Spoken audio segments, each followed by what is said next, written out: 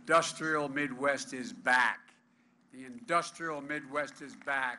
President Joe Biden landing in Licking County earlier today for the groundbreaking of Intel's highly anticipated $20 billion chip plant.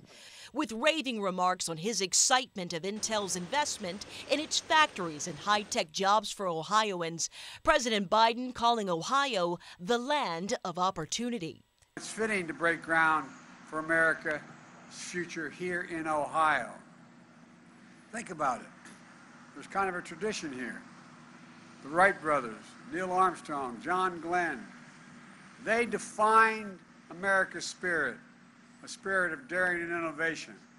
Pat Chase laid out Intel's vision that builds on that legacy.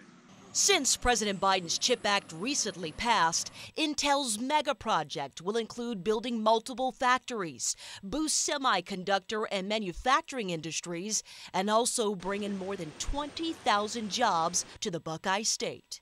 Brand new $20 billion campus, 7,000 construction jobs, union construction jobs, 3,000 full-time jobs that will pay an average of 135,000 a year, and not all of them will require a college degree once these facilities are built.